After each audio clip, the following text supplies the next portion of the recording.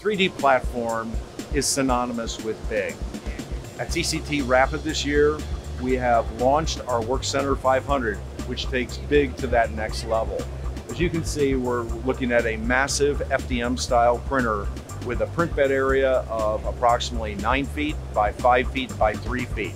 That's allowing customers in the world of uh, composite layup tools, concrete cast uh, generation, architectural concrete, and the like to go ahead and bring additive manufacturing to streamline their business processes. Here you see flexibility in our largest platform where on the left we are highlighting a pellet style extruder, optimal for when you're laying down a significant amount of uh, plastic.